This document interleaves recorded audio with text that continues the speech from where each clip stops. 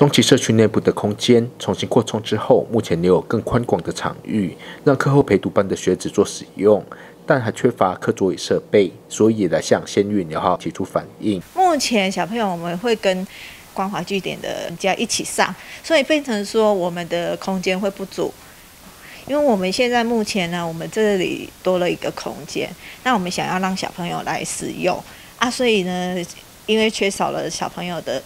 课桌椅，所以我们请游艺员来协助我们来增设这些课桌椅。千远友好，相当肯定中级社区课后陪读班照顾地方学子的用心，所以开立配合款协助添购课桌椅。对此，社区也很感谢游艺员的协助。那今天的话，我们是有特别请我们的社劳处，我们的王荣义科长。跟沈俊荣技师，他一起来我们中旗社区进行一个会刊。因为我们中旗社区的话，在陈理事长、以及林思豪，还有包括我们的林燕金，还有总干事都有提到，在这个设备上来讲，持续做一些改善。那我们希望说，今天来讲的这一个会刊开立了二十万的配合款，也希望能够协助我们的社区做硬体的一个做调整。有人对社区帮助足多啦，啊，那这。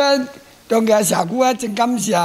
有医院间，有咱买只多，有学生大家安尼来用安尼，这这真感谢呢。有医院希望透过他的协助之下，让中旗社区硬体设备能够更加完善，方便社区照顾学子。日后也期待社区能有更好的发展。那至于说我们中旗社区，其实平常在做这个伴读班，那还有包括他们的同学们，还有做这个包括金融的一个训练。还有主乐器的一个培训，那都是非常好的一个社区，它也算是我们在竹山的社区来讲，也算是非常蓬勃发展、照顾地方，同时也结合综合国小的一个优良社区。而这次的设备改善，那也希望说能够让我们这边的社区的一个环境跟硬体设施能够更为精进，还有未来能够有更加好的一个环境跟发展。议长何胜峰肯定有议员对社区事务发展的关心。也相信，在课桌椅设备添购完毕后，一定能够营造出一个舒适的环境，帮助社区照顾地方孩子。